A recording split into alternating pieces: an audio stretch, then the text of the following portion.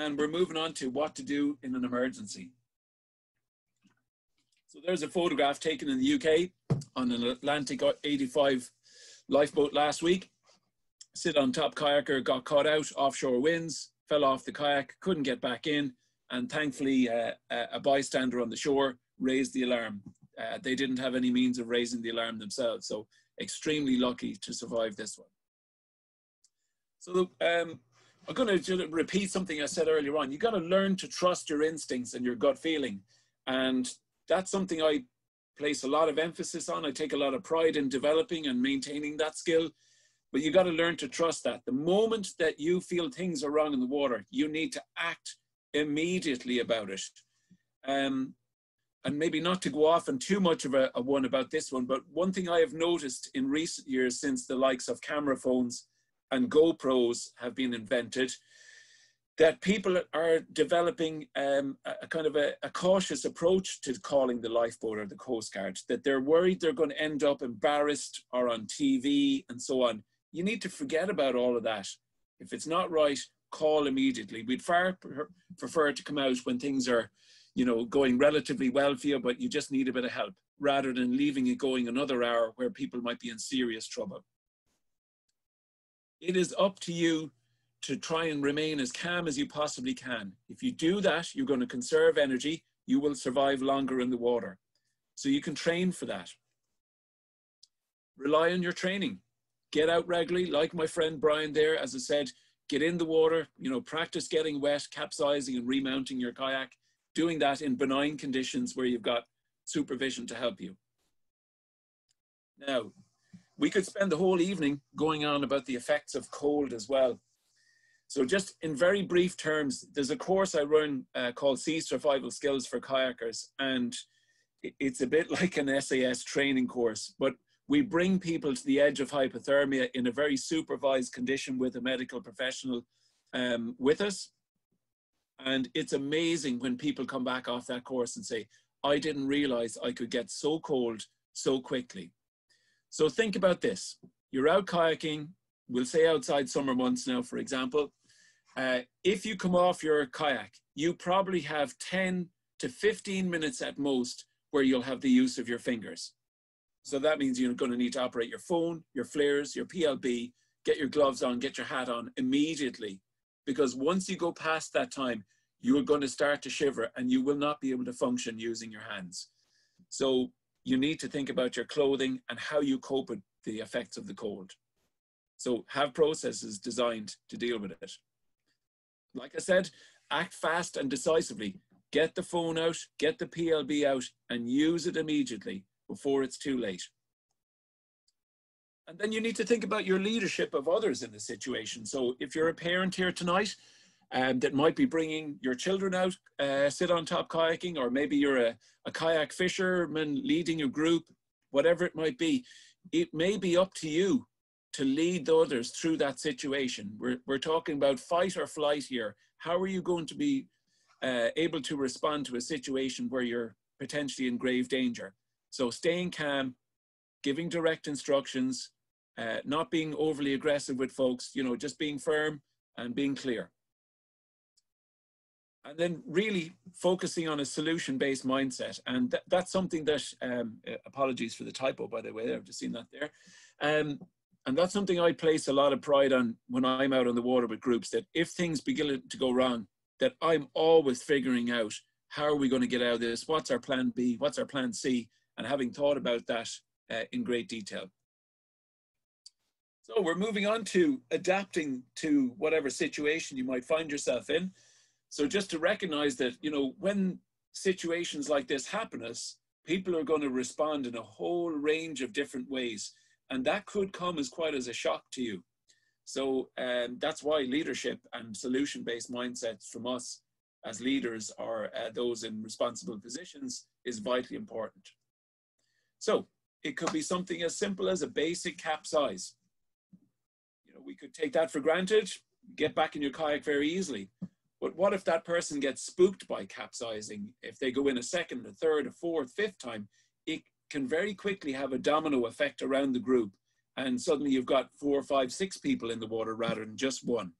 So looking at self-rescue as being central to your emergency skills and being able to peer rescue, help each other out is important. Be conscious of your positioning on the water and your proximity to others. So don't let other members of the group stray 50 or 100 meters off. You need to be within a safe swim distance of each other very quickly. And one thing that I regularly come across in the water is people don't look over their shoulder to see where the rest of the group are. Um, leadership is not being about at the front of the group. In fact, sometimes when you're out kayaking, you can lead a group most effectively by being at the back of the group. So again, your training course, your local provider or club will help you in more detail with this. Now, think about other traffic on the water. Now, uh, thankfully, you know, most Irish locations, I can say in general, we don't have to think about too much traffic. But if you're in a busy harbour like Dublin or Cork or wherever it may be, other water traffic like boats, yachts, ships, etc., they do uh, pose a risk to us. So just think carefully about where you're going to interact with other vehicles or uh, on the water. Again, just repeating the point about exposure, uh, not just hypothermia, but maybe hyperthermia, where in the middle of the summer on a, a lovely day, maybe somebody was out late last night, uh, they might have had a few drinks too many. Maybe they had no breakfast this morning. They've no sun cream on. They've no water bottle with them. Um, quite quickly, they can find themselves uh, finding adverse effects from being over overheating. Uh, so just to prepare for that. Now, some more serious situations, and, and not to kind of devalue hypothermia, I put it into the basic one um, just to clarify because hypothermia can start off as just something very, very mild. You can recognize it earlier by all the kind of classic signs and symptoms. But if you let that go further down the road where people really drop in temperature, it then can move to becoming a serious situation. And as I said earlier on, someone might have a medical emergency or an injury, but as a byproduct of that, because they're going into shock, they can develop hypothermia very quickly.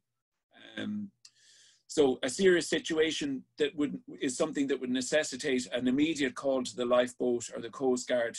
Any medical emergency, you know, it could be a heart attack, it could be uh, an epileptic fit out on the water. You know, um, someone could have uh, anaphylactic shock from a bee sting or something like that. Um, that's something where we don't hesitate to call for help. So any form of loss of consciousness, you know, don't hesitate for a moment call for help immediately. And that could be a medical emergency, it could be a bang in the head, whatever it is, but you're going to need outside help to deal with that. Um, collisions with any kind of vehicles on the water, again, that's something that's going to need immediate help. Um, this is one that tends to get forgotten a little bit uh, sometimes in, in, in, basic sort of kayak settings, particularly we're on the sea. And this time of year, when you've big differences in temperature between the land and the sea, we can develop uh, uh, or uh, it can develop a sea fog very quickly and very uh, soon you're going to find yourself disorientated on the water and it could be hours if not a day before that fog dissipates so again having your plb and not being afraid to use it or your mobile phone again like i said earlier if you get caught out in autumn winter or springtime when the days are shorter if you have an incident happening at half three on a winter's afternoon you are going to end up getting caught out in uh, darkness and then strengthening conditions. Um, and that's also something that can happen this time of year. You know, we, we typically speaking on a summer's day here in Ireland have quite calm seas in the morning and the evening, but because of the rising temperature during the daytime, uh, the coast can develop these local sea breezes. Met Éireann will talk about them in the forecast. And you can end up paddling into one of those and finding yourself out in quite strong conditions. So being able to recognize that and, uh, and get out of there quickly is important. Um, probably your worst nightmare on the water is getting separated from a member of the group. So, you know, having the leash on your um, paddle, you know, we spoke about that earlier on, and I've got some other measures now in a moment to, to recommend to you. Really understanding the importance of rafting up as a group immediately if you get into difficulty and keeping everyone connected together. So important. And then that each person would have a whistle and high vis tape on their buoyancy, their paddling gear. So if they do get separated, we have a means of recognizing them and hearing them. So some smart things to do in emergency. How are we doing time wise there? Yeah, we've got about 15 minutes to go there at most. So make the call early. I'm repeating that point. It's vital, folks. Forget about your pride or the TV or whatever it is. This is a matter of life and death. Use your PLB, use your phone or your VHF and flares. Keep the group together, raft up, practice that in your fun sessions. Learn the draw stroke, learn what it means to hold on to someone else's kayak beside you, keep your paddles together, have that positive mindset. If you end up in the water and you're fatigued, immediately clip yourself to your own kayak. Why do we do that? Well, if the sea conditions are rough, you might not have the physical strength to hold on to your kayak. If you slip into unconsciousness because of hypothermia, it will be a lot easier for us in the lifeboat or the Coast Guard to find you when you're attached to a big floating high-vis kayak. If you're not clipped onto it and you're just a bobbing head in the water, it's a lot harder to find someone. While you're clipped onto the bow of your kayak, you can see there uh, the, the guy is blowing his whistle and waving his paddle even if you're holding onto the bow of your kayak while you're in the water, you can still wave your paddle to raise the alarm and call for help. So that's why having your tow line or a means of connecting yourself to the kayak is important, particularly if you get fatigued and you can't climb back on. So think and keep warm. Think about your spare gear. Maybe in your dry bag, you've got a hat and gloves that you can put on immediately. That'll buy you some added time. That'll preserve a bit of heat in your body. Think about staying warm as well. But remember, if you use up too much energy by moving, you could end up uh, burning up a lot of calories quickly, trying to generate heat, and then that will just make the drop into hypothermia even quicker. Again, coming back to mindset, you've got to maintain your positivity and consider the amount of time that you're going to be in versus the cold that's there. So you know, in my sea kayaking sort of emergency plan, I've kind of got a golden 15 minutes where a lot of key things need to happen to ensure my rescue is going to be effective.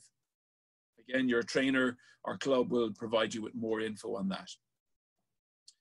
Okay, so we've covered everything in that slide there. We're kind of moving nicely towards the end.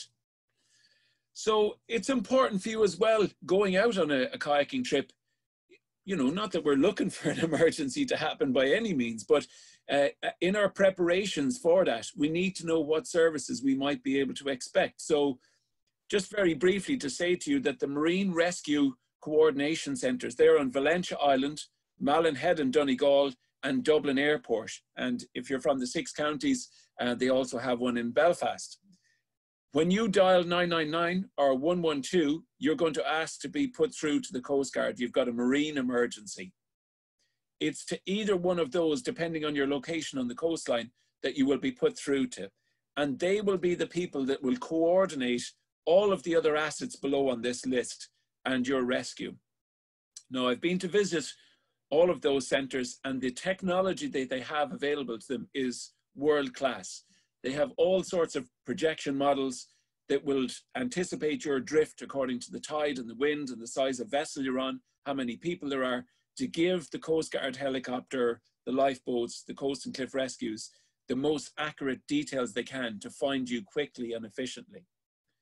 So we have uh, four Coast Guard rescue helicopters, Shannon, Waterford, Dublin Airport, and Sligo. And bear in mind, they also have a reserve one. So if any of them are tasked to another um, incident, there will always be one available to come to you.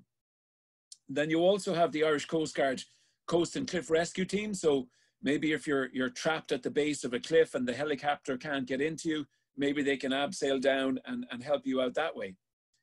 Uh, the RNLI here have uh, stations all over the coast of Ireland, and that's a combination of inshore Atlantic 85 boats, as in this photograph here, or the bigger Arun and Shannon class offshore boats, uh, which, which you'd see on Saving Lives at Sea and so on. So well-trained crews, uh, well-versed in dealing with paddle emergencies, and uh, all-round nice people to deal with. Um, and you'll also have the Irish Navy from time to time. So if it's a, a, kind of a bigger incident where there's a number of assets that need to be coordinated, the Navy, if they're in the vicinity, will sometimes help out as well. Uh, we also have to acknowledge the great work of the Irish Water Safety Beach Lifeguards. They just started again there last weekend and will be on, on service there now for the next couple of months during the kind of summer season. Um, they will be there to advise people taking to the water about safe practice, or indeed, if there was an emergency, they can respond in the vicinity of that. And then finally, we have the National Ambulance Service as well. It's even worthwhile thinking about where's your local hospital. So just factor that into your emergency plans, please.